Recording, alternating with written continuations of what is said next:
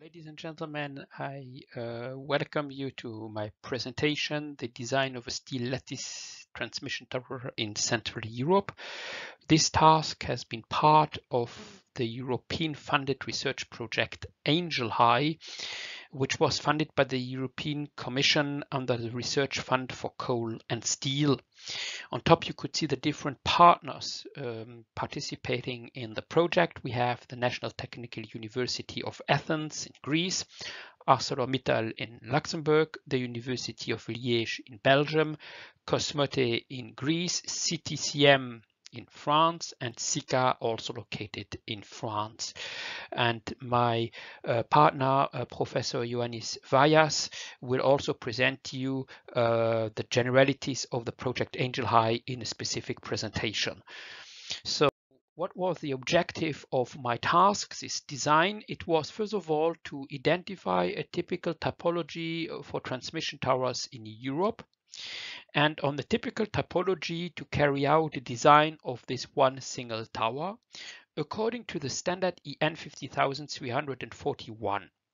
And this will later be, this design will later be compared to uh, possible designs according to Eurocode 3 part 11 and Eurocode 331 and also a nonlinear uh, design the objective of this is to highlight and to work out the contradiction that exists when you have the possibility to design the steel lattice towers according to different standards because in the different standards we will have different rules for uh, the uh, design so there is a lack of harmonization and uh, further on the case study will serve as a basis for further research within the project ANGELHY. Here we see some typical tower topologies that we identified. So we have on the left the Danube tower, in the middle the barrel tower, and on the right the single span tower. The main differences of these towers are the height. So for the Danube tower between 30 and 50 meters and a width of 30 meter. The barrel tower is slightly higher with a height between 50 and 60 meter, but also a little bit smaller, taller. So the width is 20 meters. And then the single span tower on the right, which has a height of only 30 and 40 meters, uh, but with a width of 40 meters. The different towers are used in different landscape. For example, the Danube tower is a good rounder to be used in woods urban areas. And uh, the barrel tower is mainly used also in woods because you have a height so with certain distance between the conductors and the trees to cross rivers and also in farms to protect the animals living on the farm uh, from the conductors. And then on the right for the single, single span tower with a reduced height, it is quite useful in areas for uh, um, uh, for airports uh, where you will not disturb uh, the air traffic with a limited height. But of course, it's a little bit wider, meaning also a deeper impact on uh, the environmental uh, on the environment because you need these protection strips on the left and on the right of the tower. And what we identified as the most typical tower typology in Europe, in Central Europe at least, was the Danube tower. And so we selected this for the case study. And here you could see that we also carried out a design for both types of towers. We have suspension towers, which are towers with only hanging insulators that you could see on the left. So uh, they will transfer only the self-weight and ice loads acting on the conductors, as well as the self-weight of the tower body and the trans transverse wind loads. So traction or forces or tension forces from the conductors will not be transferred to the tower structure. Therefore, we will end up with a lighter structure in general. The application is to support just simply the conductors and to limit the span within a transmission line. Then the dead end tower, uh, which is uh, which has characterized via horizontal strain insulators.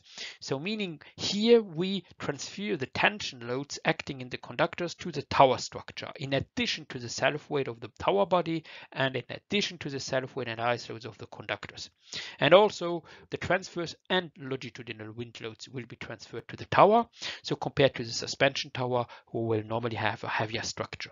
The applications are normally each time when there's a change of a line direction, because here we have to transfer tension forces to the tower. At the end of the lines where we have uh, a change from overhead lines to buried cables.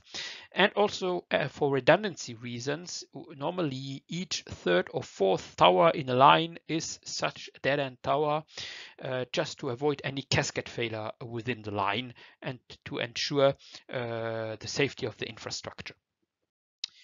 Then for the case study, we assumed that this tower, the, the Danube Tower, is located in the Erzgebirge in Germany, so in a mountain area in wind zone 2 and ice zone 2 with a height below 750 meters. Here we could see the layout of the transmission line. So we have for the suspension tower a straight line with elevation differences between the towers. And for the dead end tower, we have an inclined line, as you can see on the left picture, with an angle of 22.5 degrees to the horizontal and with uh, elevation differences uh, also between the towers. The spans can be seen uh, on the right picture. We have a tower span of 250 meter each and the wind span, which is corresponds to the tower span of 350 meter and a weight span of 525 meters. And the weight span is defined as the distance between the two lowest part of the conductors in two adjacent spans that you could uh, see here. Then uh, concerning the general information of the tower, so we designed a suspension tower and a dead end tower. We had two circuits of 380 kilovolt. Each circuit uh, buries uh, three phases on each side of uh, the tower.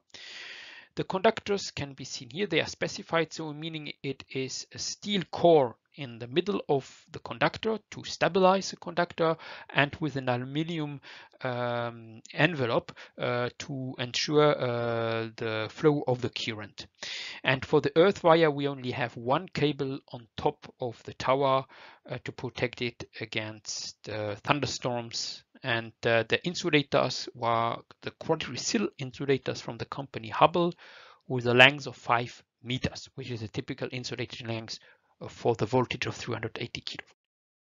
Here you could see the general um, design of or layout of the tower. It's a standardized tower with a height of 50.2 meters, a total width, so the width of the longest cross arms of 31 meter, and uh, the basement is a squared section with a length of 6.84 meters. Now the design assumptions, design, the towers have been uh, designed in the software tower version 15 from uh, the Powerline uh, systems. The load and the design were uh, uh, carried out according to EN 50341 part 24, which is a German national annex of the standard. And this was implemented in the code, so it uh, in, this, in the in the software, sorry, so it was quite easy to carry out this design. We only consider one single tower design, so not the total line, transmission line, but only one single uh, insulated tower. The conductors have uh, not been modeled, so uh, the point loads uh, were applied coming from the self weight and the wind acting on the insulators were directly applied on the insulators of the tower. It was a linear elastic design the connection as well as the foundation were not designed and we only used one uh, single angle profiles, hot rolled profiles, which are the standard profiles for such type of structure. The general design assumptions are a linear elastic design and first order theory as prescribed by the standard The tower is considered as a pin-jointed truss structure and I compose it of trusses and beam elements. Beam elements are necessary to avoid uh, the out-of-plane movement of nodes in the numerical model. The foundation were uh, just considered as pin supports. The eccentricities in the connection between the legs and the diagonals were considered via non-dimensional slenderness factor lambda effective, which is defined in the Annex G4 of EN 50341 and uh, only axial and compression tension only axial tension and compression forces are acting in the truss elements. And uh, we have to use buckling curve C according to Annex G of the standard for stability checks. The wind loads were calculated according to method 1, meaning that the tower has been subdivided into several segments and uh, that the wind acts on each segment and then will be transferred to the nodes of each of the segments. This method is uh, described in detail in EN 50241. Then the wind and ice loads on the insulators has been considered, but the ice loads or ice load accumulation on the tower structure itself has not been considered because it is uh, explicitly written in the standard that you can uh, neglect this ice accumulation on the tower itself. The ice load on the conductors have been calculated by the German Meteorological Services and long time experiences, and they were reflected in the ice zone 2 that we selected. For the dead end tower, we also calculated the tension forces coming from sex temperature ice loads by an Excel sheet and uh, then we applied this as a point load on the insulators. The steel grade that has been selected was steel grade S355J2 according to the product standard 10 25, uh, 10,025 part 2 and also a higher strength steel S460 according to the product standard EN 10,025 part 4 for thermomechanically rolled then the general assumption in the numerical model, so only primary and, brace and secondary bracing systems have also been considered. So the connection as well as the foundation have not been modeled. We use truss elements, which you can see in blue on the right picture, and uh, then we have beam elements in green. We did not model the conductor, uh, the conductor, sorry, as I already told you, and the tower has been divided into two sections and two cross arms only single angles has been used and the self weight is calculated automatically by the tower and we add added uh, additional 20% to take into account the self weight of uh, the gusset plates and bolts for the connection. The wind loads on the tower have been calculated automatically by tower according to the method 1 described in EN 50241. The wind and ice loads on the conductors have been calculated by hand, also according to the method in the standard 50241. The ice load on the insulators, the same, calculated by hand.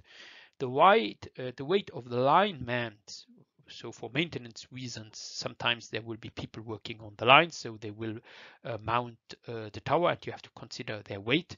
And this is calculated automatically by tower according to the standard. The construction loads has been calculated by hand and the load combinations have been considered according to the EN 50341 here you could see in different colors a different segment of the towers. And here you could see the different load cases. So we have 12 load cases from A to L.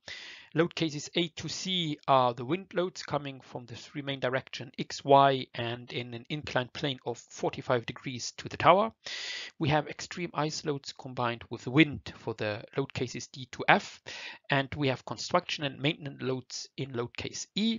Load case G to L are exceptional load like unbalanced ice loads, meaning ice loads on, in the on the conductors in one span and no ice loads on the other span. Then for the suspension tower, uh, the load cases A to G are sufficient. The weight of the linemans applied uh, or were applied on members which has an inclination of less than 30 degree to the horizontal, and this has been considered by a point load of one kilonewton in the center of the member. In addition, you can see here the different uh, safety factors that you have to apply for the different load cases according to the standard EN 50341. Then the design checks that has been carried out. There we have carried out only a verification in the ultimate limit state. So no verification in the service limit state and no fatigue um, verification, but it is also explicitly written in the standard that you do not need to consider any fatigue loading. Then uh, for the section verification, we did the tension and compression checks according to Annex G of the standard. For the member verification, we did the flexural and flexural torsional buckling according to Annex G. The crossing diagonal check for bracing without secondary bracing has already has also been carried out, and we did the verification of the bracing inclination show proving that no member has an inclination of less than 45 degrees to the horizontal, at least for the bracing elements. Then for the redundant member verification uh, was also done by assuming an hypothetical transversal force of 2% of the axial forces in the uh, members to be braced has been applied in the braced members, in fact. And then the verification for alignments for the members, as I already explained, for members with an inclination of less than 30 degrees. Then we have here uh, the results of uh, the study. So we did an automatic optimization uh, by uh, tower. So uh, uh, the angle sizes as well as the angle type has been automatically selected by the software tower in order to achieve the lightest structure with the highest utilization degree. And the results can be seen here for the suspension tower in S355. We can see that we have a total weight of nearly 17 uh, Uh, tons. Then for the dead end towers in S355, which is quite heavier, as I explained you at the beginning of my presentation, so with a total weight of 66 tons, so much higher. But there is a chance to reduce this weight by using high strength steel S460. So here it is a small error in the presentation because it is then in tower not in S355 but in S460. And here we can see that the tonnage is reduced from 66 to 56 tons by replacing uh, uh, the leg members and the main uh, members of the cross arms uh, by S460M steel. And uh, this was what I would like uh, to present you during this conference. I thank you very much uh, for uh, your attention. And uh, now if you have some questions, unfortunately I cannot participate it live, but I think one of my colleagues uh, will be so friendly to reply to all your questions. Thank you very much.